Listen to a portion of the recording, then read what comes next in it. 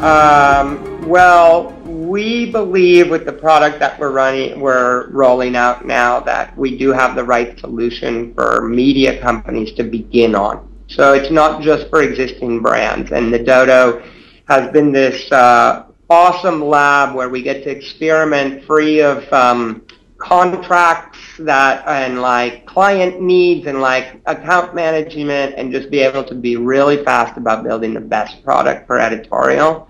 And we really feel that we're there for this, uh, the, the first version of that product to be incredibly useful. Uh, and in part for launching uh, new media companies. So um, I think that the big question right now that you should you have to ask yourself as advice to another founder is, are you building something that the core of the value you're building is the technology?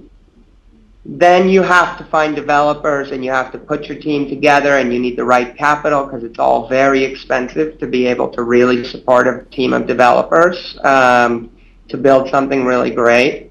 Um, but, uh, you know, if you take a Vice, for example, their tech was extremely low and barely there at all, and they really just focused on these concepts of like, well, let's send a hipster to the wilderness to see the guy who lives with the grizzly bear and let's have North Face pay for that.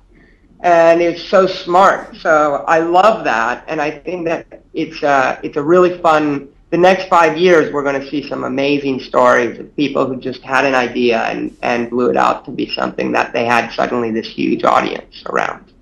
Uh, and I think the trend is like we've seen it, that it's costing less and less money to launch those.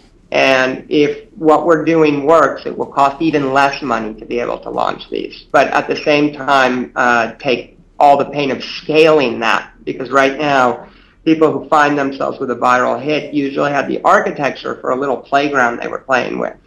So then they get their big moment and they don't have the capacity to handle that, which is just so painful because those are the moments you grow the most.